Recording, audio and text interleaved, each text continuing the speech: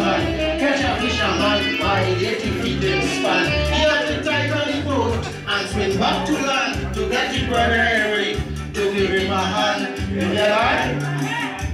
What is a lie? Lie? You hear lie? Teach him for